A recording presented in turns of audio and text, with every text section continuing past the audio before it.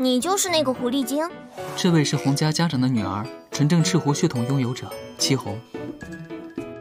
所以你们是？对，我从小和他定了娃娃亲，娃娃亲，娃娃亲，娃娃亲。